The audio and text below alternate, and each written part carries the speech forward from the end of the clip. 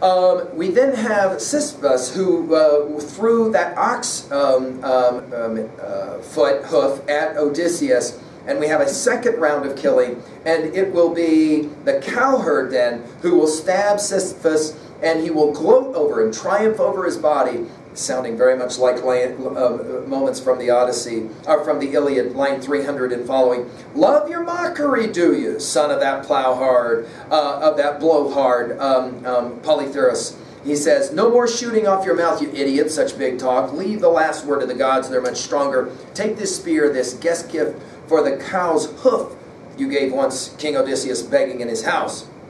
Right? Um, in other words, that's for the, the cow's from book 20, line 335, you'll remember. We have a third round of killings, and then Athena is going to make them go insane and panic. We're told at line 315 or so, the suitors out of their, out of their minds, down the hall they panicked, wild, like herds stampeding, driven mad as the darting gadfly strikes in the late spring when the long days come round. The attackers struck like eagles. We have several similes here. By the way, that gadfly response, or a gadfly word, write this in your notes. Uh, Plato knew this line very well, of course, and he likens Socrates to a gadfly in the famous dialogue Apology. We'll get to it later. We're told they're like eagles, hook-clawed, hook-beaked, swooping down. Basically, they're just jacking these poor innocent guys now who are, of course, running away. And this will be one of the questions. Okay, okay, okay. Dude, you killed all the major guys. They're all dead now. What about all of the other guys? You're going to slaughter every last one of them? And the answer is, you bet. Every one of them goes down. They're all dead, except for at the very end, we have Leodes. Leodes now, line 325.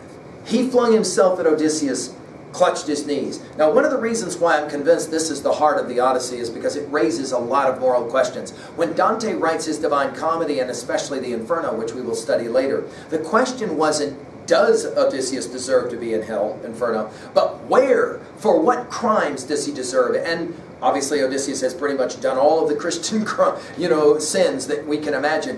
Where will Dante put him? When we get there, we'll study it. But here, I think this is a pivotal moment. We have Leodes, who we saw earlier. I mean, he's kind of wimpy. He can't string the bow, and Antinous uh, will make fun of him.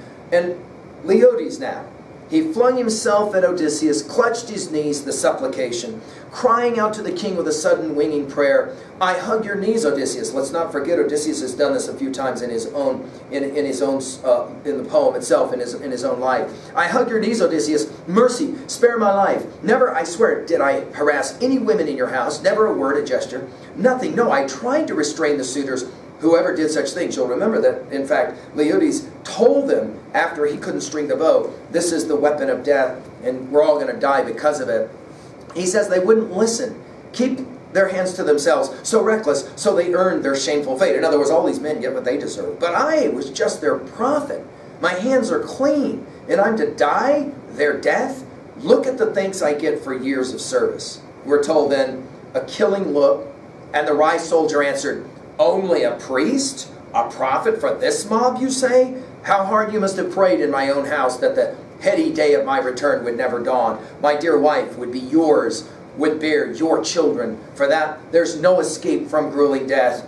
You die at line 340. And then, snatching up in one powerful hand a sword left on the ground, Agelaus dropped it when he fell. Odysseus hacked the prophet square across the neck, and the praying head went tumbling into the dust like Dolon in the Iliad, um, um, in Iliad 10. Odysseus just chops off his head. Like Achilles in Iliad 21 with Lycaon, that poor, that poor kid who begs for his life. Odysseus will jack him. I think the poet knows exactly what he's doing. I mean, even look at the names. We don't have a lot of ill names. We have a lot of names starting with E, for example. Don't have a lot of L names in either the Iliad or the Odyssey. Notice it's Leodes in the Odyssey, it is Lycaon in the, in the Iliad, and in both counts you have a pretty, pretty kind of, I mean, it's, it's one of those things where, you, okay, okay, you've given yourself up, really not that bad of a guy, and yet notice the poet, uh, the, uh, the, the warrior Odysseus will jack the prophet. Now, we're told, line 347, One was left. And I, and I said in my opening lines, uh, in my opening comments about the Odyssey, in my estimation, this is the heart of the Odyssey. And so much is being said here right now. Odysseus, is he heroic? Killing this supplicant? He says, I'm going to kill you for what you hoped maybe you could do. To get my wife and have children with her and take over everything that was mine. There was one left, trying still to escape like death. Phemius, of course, the bard, who always performed among the suitors. You'll remember Odysseus when he arrived at the palace, he heard the song of Phemius for the first time. They forced the man to sing. There he stood, backing into the side door, still clutching his ringing lyre in his hands, reminding us, of course, of this the whole thing about the lyre. When Odysseus strung his bow, it was like a lyre, you bet. When uh, Odysseus went to meet Achilles in Iliad 9, uh, Achilles was playing a lyre that he had stolen from a city, you'll remember, and he was playing on that lyre songs about old heroes, dead heroes. His mind was in turmoil, we'll tell this poet. What should he do? Steal from the hall and couch at the. This is we're back to this whole thing of between Scylla and Charybdis. What do I do? What do I do? Steal back and crouch at the altar stone of Zeus, who guards the court where time and again Odysseus and Laertes burned the long thighs of oxen, or throw himself on the master's mercy, clasp his knees. In other words, do exactly the same thing that Leodes just did. That was the better way. Dude, did you not just see what happened to Leodes? He does it anyway. So he goes up, he grasps his knees, and so he before he does that, the cradling, he's cradling his hollow lyre he lays it on the ground between the mixing bowl and the silver studded throne. I think everything here is intentional. He lays the, the uh, musical instrument, we, we remember that Demodocus, the blind bard, hung his on all. Here he lays it on the floor between the mixing bowl, that is to say, between the drinking, and the star, silver studded throne, that is to say, the seat of power. Rushes up to Odysseus, claps, uh, clutches his knees at line 360, singing out to his king with a stirring winged prayer. In other words, the poet knows how to sing. I hug your knees, Odysseus. Mercy, spare my life. The exact same thing Leodes said. What a grief it will be to you for all the years to come if you kill the singer now. Taking us back to the Song of the Sirens, they invited Odysseus to stay and listen to songs about himself. Here he says, If you kill me, I will never be able to sing any songs about you later. Notice he says it. What a grief it will be to you for all the years to come if you kill the singer now, who sings for gods and men. I taught myself the craft, but a God has planted deep in my spirit all the paths of songs. Songs I'm fit to sing for you as a God. Calm your bloodlust now. Don't take my head. You'd bear me out. Your, your, your own dear son, he'd bear me out. Your own dear son Telemachus. Never of my own will, never for any gain did I perform in your house, singing after the suitors had their feasts. They were too strong, too many. They forced me to come and sing. I had no choice. We're told Telemachus says, This one's innocent as well as the herald Medon. Save them both, and Odysseus will send them out and say, You're fine. Medon will come out of hiding. Odysseus uh, will give a smile, we're told, break into a smile. He will say at line 393, Courage! He says, The prince has pulled you through. He saved you now, so you can take it to heart and tell the next man too. And then he, a very interesting line uh, at um, right uh, right before line 400. Clearly, doing good puts doing bad to shame. We're going to come back to this line. Odysseus obviously thinks that what he's doing and slaughtering all these men is doing good. Now leave the palace and go and sit outside, out in the courtyard. Clear of the slaughter, you and the bard with all of his many songs. Wait till I've done with household chores. And that call for my attention. Household chores? That is to say, we got to clean this place up because it's gross because all these people are slaughtered and dead. Everybody is dead. And we're given an interesting word picture at line 440. He found all of them, one in all, one in all, in blood and dust. Great halls of them, down and out like fish. This is an interesting epic simile. Like fish that fishermen drag from the churning gray surf in looped and coiling nets fling ashore on a sweeping hook of beach, some noble catch heaped on the sand, twitching, lusting for, for, for fresh uh, salt sea. Some of them are still twitching. But the sun god hammers down and burns their lives out. So the suitors lay in heaps, corpse covering corpse. And then Telemachus um, um, is told by Odysseus, Go call Eurycleia and get her here. He runs to get Eurycleia. He says, Dad wants a word with you. She finds Odysseus in the thick of slaughtered corpses splattered with blood filth like a lion, another simile that's devoured some ox of the field. We saw this one a lot, didn't we, in the Iliad? And lopes home covered with blood. His chest streaked, both jaws glistening, dripping red, a sight to, uh, to strike terror. So Odysseus, line 430, looked now, splattered with gore, his thighs, his fighting hands, and she, when she saw the corpses, all the pooling blood was about to lift a cry of triumph. Um, both uh, Euryclea as well as Penelope seemed to have no problem, as women of the day, no problem with the slaughter of all of these and seeing it even. She's ready to shout a cry of triumph. Here was a great exploit. Look, but the soldier held her back and checked her zeal with warnings winging home. Odysseus says, Rejoice in your heart, O woman, peace. No cries of triumph now. It's unholy to glory over the bodies of the dead, which is so counterintuitive. Because when Odysseus jacks Dolon in, in, um, in Iliad 10, that's exactly what he does, right? I mean, uh, um, he, I mean, he gloats all the time, as do all kinds of warriors. These men, the doom of the gods is brought low, and their own indecent acts. They've no regard for any man on earth. Again, the apologetic uh, Odysseus trying to explain. By apology, I don't mean that he's uh, saying sorry. He's saying this is why I did what I did. He says, they no regard for any man on earth, good or bad, who chanced to come their way. And so, thanks to their reckless work, I told you when we began the Odyssey, it's all about the blame game. Notice Zeus started the Odyssey by saying, bad stuff happens to men, and it's not my fault. And Aegisthus is, of course, mentioned as being the one who got jacked after um, you know um, after he killed uh, Agamemnon in Agamemnon's homecoming. And so, thanks to their reckless work, they meet this shameful fate. Quick, report in full on the women in my halls who were disloyal to me, who are guiltless. And she will say, "Well, there's 50 women, 12 of them are bad." Um, and then she says, "Can I please go and get Penelope?" And Odysseus says, "No. What I want are those 12 women. Bring them in." So that's exactly what happens. Um, the, um, Telemachus then will um, go and get, uh, uh, along with the two herders, uh, and they start cleaning up. The second cleaning of the day, by the way, notice in book 20, line 170, Euryclea already had them clean up the hall once, now we got a different one. The women came out of the great hall, or, or we're told, march the women out of the great hall. This is Odysseus speaking to Telemachus now at line um, 463, uh, uh, sorry, 467. March the women out of the great hall between the roundhouse and the courtyard star, uh, strong stockade after they've cleaned up, in other words. Hack them with your swords, slash out all their lives, blot out of their minds the joys of love they relished under the suitors' bodies, running on the sly. In other words, for sleeping with all these men, uh, sexual uh, acts, we will ultimately cut them to pieces. The ironies run deep because, of course, Remember, Odysseus didn't want to leave Circe. He so much enjoyed sleeping in her bed. It was Odysseus's men that had to convince him. Remember when we hit those lines? And yet here we go, the sexual double standard. In other words, they will be called sluts and whores. Odysseus will never consider himself this way because he was quote unquote forced to. Well, technically, so were these poor girls as well, right? Um, it's pretty obvious that for most of them anyway. These poor doomed women are brought out they're wailing convulsively when they walk out. You can imagine, see 118 men just dead, or 100, at least 100 or so men dead, slaughtered. They have to do several things. First, they have to carry out all the bodies. Think of that. Many of those men, of course, are their lovers. Carry out the bodies. Then they're forced to scrub down everything. Then at line four, uh, um, 480, they have to carry that filth out.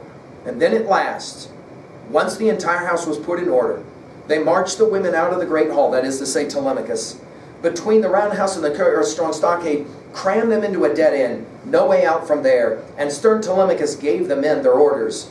No clean death for the likes of them, by God, not for me. They showered abuse on my head, my mother's too. And then he says it to them at line 490, You sluts, the suitors' whores. With that, taking a cable, he will um, run it over and he will hang every last one of them so all might die a pitiful, ghastly death. They kicked up heels a little, not for long. Whoa. So, in other words, these women all have to go through the disgusting process of cleaning up all of the blood and guts, and then they're routinely taken out, and all 12 women are hanged by Telemachus. Melanthius? Well, line 500, and this is the most disturbing, I think, of, uh, for most of my students as they read this. Melanthius they hauled him out through the doorway. Remember, he's kind of hung up in the storeroom. That's where they left him. He's not dead. He's just, uh, he's just been tortured. Into the court, they lopped off his nose and ears with a ruthless knife, tore his genitals out for the dogs to eat raw, and in manic fury, hacked off hands and feet. There it is. That's Telemachus. That's the young man who now has grown up to, to give payback. And what is it that Melanthius did? Well, yeah, he insulted Odysseus, and of course he went and got armor for defenseless men. Boy, that's really going to raise some questions for us, isn't it? Odysseus then will say to Euryclea, bring sulfur and fire. We need to, we need to purge the, um, the hall of all the killing. Well said, my boy, the nurse replies at 5.15. Right to the point, but wait, she says, let me fetch you a shirt and cloak to wrap you. No more dwaddling around the palace, nothing but rags to cover those broad shoulders. It's a scandal. In other words, the nurse is like, you're covered in blood and guts. So can I, can I please, can I please get you um, some, some uh, you know, clothes? Because Odysseus has just said, um, once we, you know, use the sulfur, call Penelope here with all the other women. And Odysseus will say, fire first. Light me a fire to purify this house.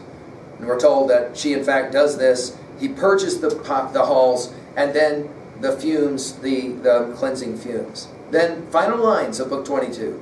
Back through the royal house, the old nurse went to tell the women the news and bring them in at once. Not Penelope yet. That will be coming next in the next book 23. They came, the women, crowding out of their quarters, torch in hand, flung their arms around Odysseus, hugged him, home at last, and kissed his head and shoulders, seized his hands, and he, amazing line, overcome by a lovely longing, broke down and wept. Deep in his heart, he knew them, one and all. Finally, Odysseus allowed to weep, although he's had some tears that he's kind of, finally, after he's slaughtered all these men, well, let's work level 2, 3 very quickly. Of course, one obvious question is the question of retributive justice. That is to say, do good, get good. Remember at line 396, doing good puts doing bad to shame.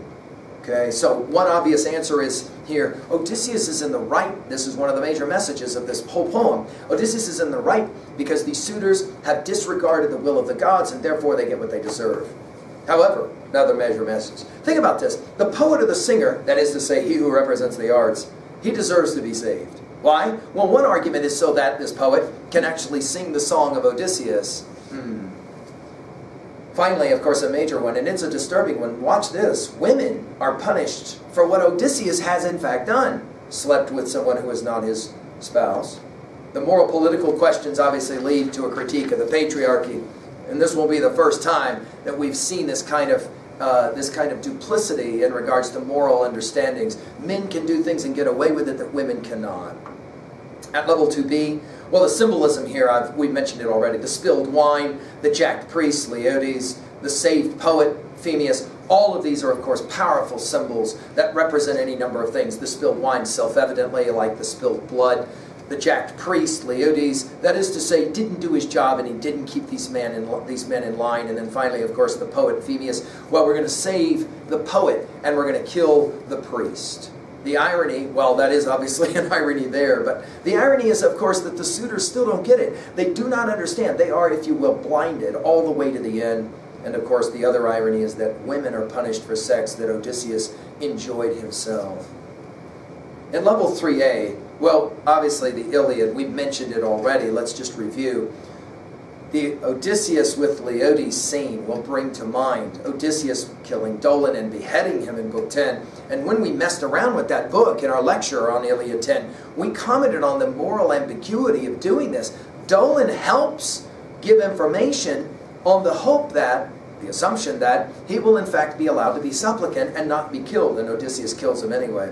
Of course, Achilles and Lycaon is one of the more disturbing scenes of Book 21. And Achilles feels like he is in the right because Patroclus died. Of course, Patroclus died because Achilles wasn't even in the war. Of course, Book 22 of the Iliad is the killing of, of Hector by Achilles. And here, of course, we have the slaughter in Book 22. We'll mention this as well, that in the Aeneid and in Beowulf, we have serious jack scenes and of course, I've already mentioned this, but write it down in 3a. Dante will put Odysseus in Inferno, and obviously there's reasons for that that are associated with Book 22. What is your favorite Jack text? Video games, for example. And in many ways, we can ask this question now, is this the source of so much violence in our culture? This fascination with the Iliad and the Odyssey, and especially scenes like this?